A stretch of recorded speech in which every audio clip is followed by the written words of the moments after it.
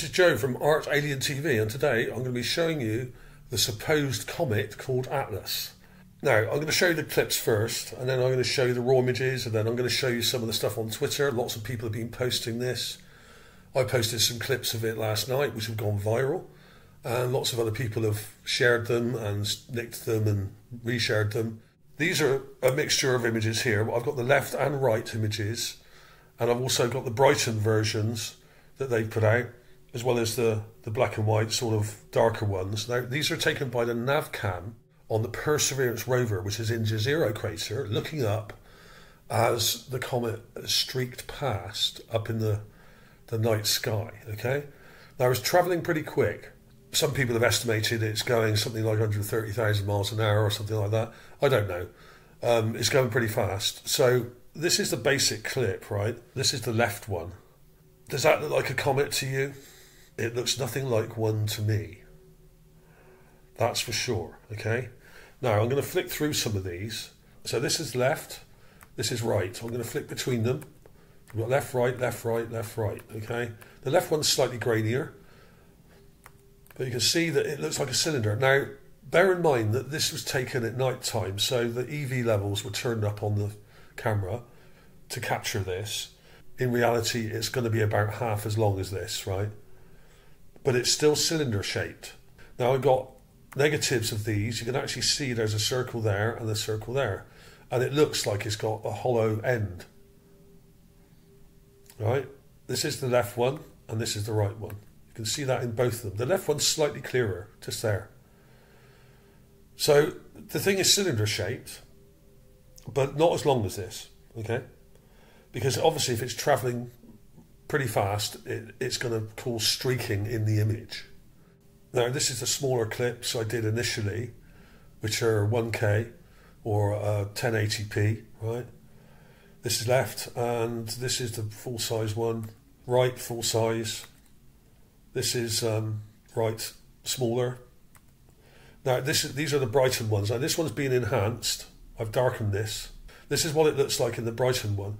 Now, what, what NASA have done on the page is they've actually got now this is just the left camera. There, there are a lot more than this, right? This is Sol 1643, okay? And in each set there are 16. So this is the raw image, and you can see it here. So you know I haven't put this on here. This is not me doing this. This is straight from the rover. Now this image was literally taken yesterday, so this is brand new. The Perseverance rover images are updated much quicker on the website than, than other missions, okay? Like literally one or two days later you get them. Here's the bright one here. This is, this, I think, the same set of images that have just been brightened up. I don't think these are taken separately. It's just the same set, and they've super brightened them. And it appears as a very bright cylinder shape or oblong shape, okay, just there, right? So that's the left one, that's the right one. But look at the actual shapes here. We've got a, we got a cylinder shape. And like I said, this thing isn't as long as this, okay? In reality, it's probably about half as long. So it's about, it would come to about there, right? Now, let's look at the Brighton one. This is the raw Brighton one. The smaller one here, you can see this is the same object, but it's been super brightened and had the contrast turned right up and you can see it's all kind of pixelated, which is what happens when you turn up contrast in an image really high, like they've done here. Um, this is raw, by the way. It's just a straight clip enlarged. Um, so you can see all the, the different colours coming out. That's where the contrast has pushed the colour contrast out, right? So that's been enhanced by NASA, JPL, right? And let's, let's do native with that. There it is. You can see it's got a hard edge and it's kind of cylinder shaped. Okay, the shape is a bit enlarged. It looks wider here because when when you turn up the contrast and brightness on on an object that's quite bright already, it gets bigger. It grows. It grows like a halo, right? So that distorts the actual shape, if anything, because it's not as bright as that in reality. Okay, so we got a whole bunch. I'll flick through these again. So there's left, there's right, there's left negative, there's right negative, smaller, left, bigger left, bigger right, smaller right. Bright enhanced. Now I darken this right down. It says rule there, but this has been darkened. Okay. That's how it looks in the actual image. Okay, this is the super brightened, contrast enhanced one that NASA have done. Too bright to look at, in fact. It's actually easier if you go back like this to look at it. So, now what's strange about this is that people are saying it's long exposure. I don't think these are long exposure. I think the reason it's elongated is because it's travelling quickly. Now, if you look at the actual page, normally when we have a set of images like this, and I've shown this many, many times before, so I, I've got a lot of experience with these images going back many, many years. And normally in a set, you would have the, the last image and the first image would be down here in the set, right? Let's go to the bottom one here. Now, this is the first one. The time is 21, 33, 39. Now, let's go to the last one in that dark set 21, 33, 39. So all these were taken in one second. Under one second. Just under. So this is a burst fire set. Now, if you've got a proper camera, like I have, and I know many of you have, you'll have a, a, a burst fire setting where it will take a whole bunch of images extremely fast in a row. Okay, it's called burst fire. These were taken in burst fire mode which is why the first and the last one of the 16 have the same timestamp. Now, normally with the Navcam or the Mastcam or any of the other cameras, when you have a set like this, they would have a different time between the first one, the second one, third one, and so on. Okay, usually a few seconds apart, sometimes only half a second apart, or something like that. But generally, um, as I've shown in previous videos, like I've got here, on my channel, um, this one here, Mars Rod UFOs, night flying objects, and also this one, Mars Giant Rod UFO. Now that's actually Phobos, right? And in this you can see Phobos moving quite quickly through the sky.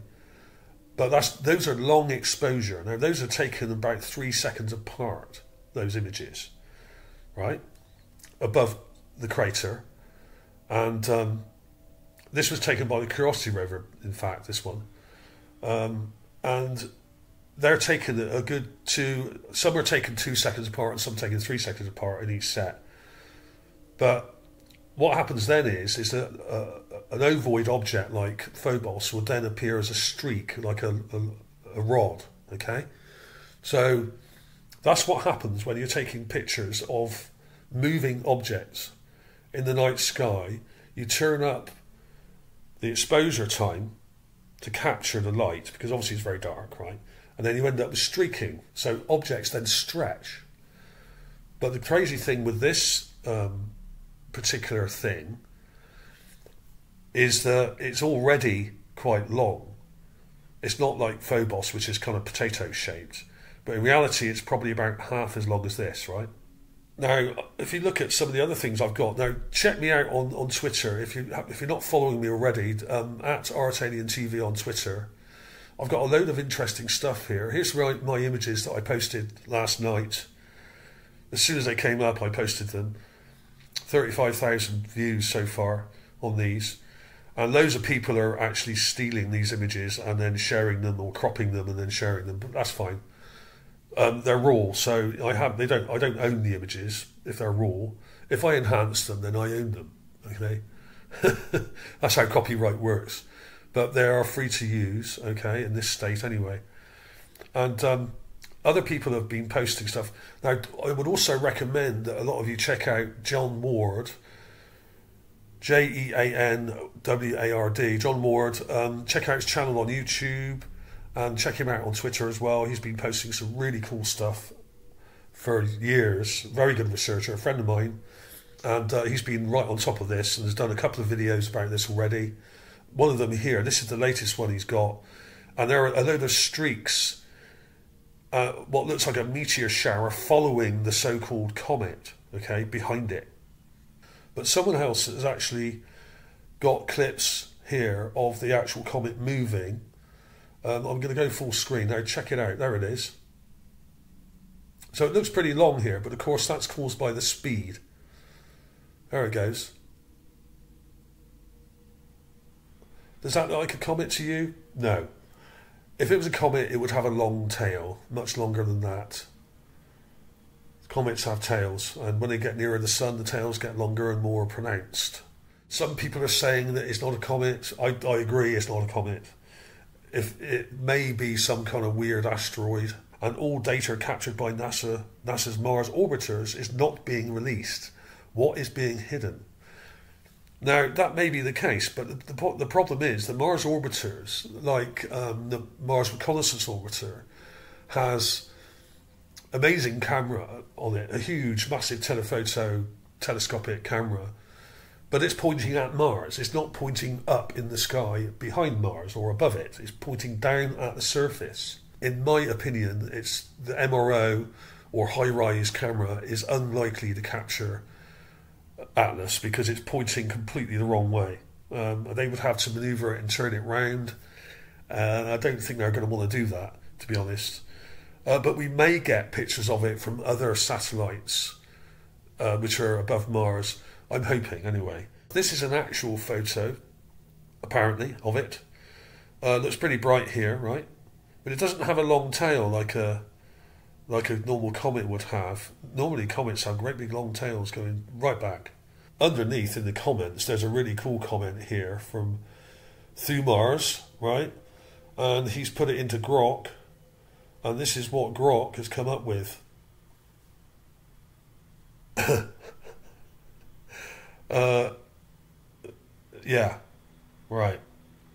That is what Grok thinks it is. Pretty amazing, right? I somewhat doubt that it looks like that in reality, but it's a great animation. So that's what AI, Grok, thinks of it. All it's doing is taking the image data and then kind of processing it and elaborating on what it thinks it might be.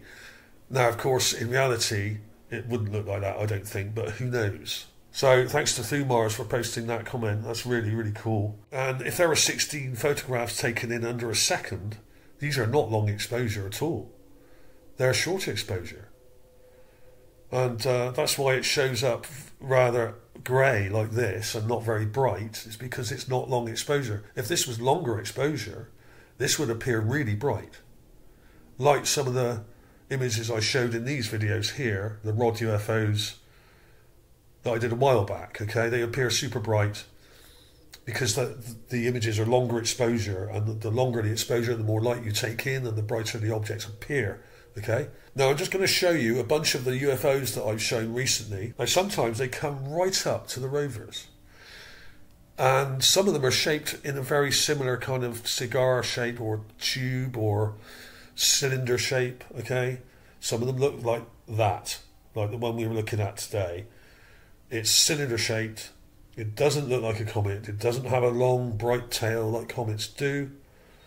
It's a solid object. It may actually just be a meteor, but it's very uniform, which is highly unusual, I would say. But here are some of the, the pictures I've shown recently. Now, this is the Rod. This is actually Phobos, like I said. And what happens is Phobos is actually uh, ovoid shaped, kind of potato shaped. And when you take a long exposure photograph at night, like this is, it becomes very bright and elongated because these images were two or three seconds, okay? So it's stretched. So that's the stretching you get when you take photographs at night with long exposure. It's got the same time here on the first one and the last one. These were taken all in under a second. So they're not long exposure. So the stretching isn't due to long exposure, the stretching is due to speed. Now, this may well be a comet, okay? Who knows? But this is quite low down. Gale Crater, Curiosity rover. What the hell's that? Does that look like a comet? No. Does it look like a meteor? No. Is it a lens flare? No, it's way too sharp to be a lens flare. Lens flares are much more fuzzy and kind of vague. They're never this sharp. Now, this was spotted years ago by Steve Bolden, and I still think is one of the best clips ever from Mars. Now, this is also Curiosity rover. This is small, and it came in very close and very low to the rover and only appeared for a matter of a fraction of a second because it flew right in front of the camera, very close to it. So this is tiny. This is about the size of a mosquito or some kind of insect, flying insect. But if you look at the back here, on the on the right, you've got what looks like an abdomen hanging down with a sting on the end, like a mozzie. That kind of thing, maybe. And in low resolution photographs with things moving like this very close and quickly, the wings wouldn't show, but there is distortion just above it, as if there are wings above it which are translucent. What it may be is actually uh, a dead insect that's just been blown by the wind. And then there's stuff like this, which I still think is the most astonishing image of a UFO on Mars. Now, this came in right towards the rover within about 150 feet or so of the rover. Well, at least the image, it may have come closer, but it went past the cameras. And the, the rover does have a kind of blind spot, which is above the rover. It has loads of cameras, and they're all pointing outwards and downwards. This is, I estimate, somewhere between 10 and 20 feet in diameter across wingspan. This is a drone or something. It's not a bird. You can see this hard edge sticking up like a little tail, stabilizer or something there sticking up.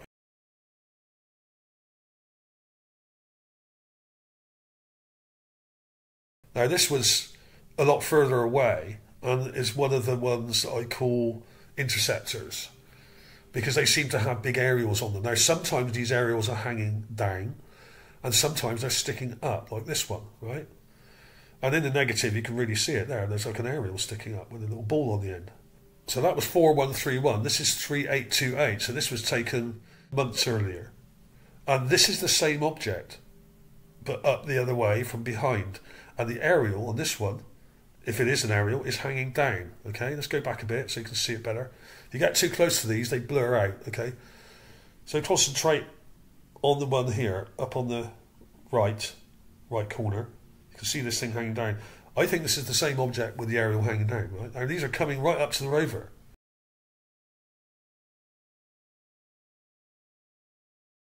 This is similar, this one here, to the thing we're looking at today it's not a comet. It's what I call a rod UFO, and it's just above this kind of little mountainous part here. Now, how high up is that? Probably less than 200 feet high. Okay? It's fairly well defined in the image. In other words, it's quite dark. If this was much higher up and further away, it'd be much more grey and less pronounced. This is raw, by the way. So you can tell that that isn't that far away by the luminosity. If it was miles and miles up, it would be tiny and it would be a pale, much paler grey colour.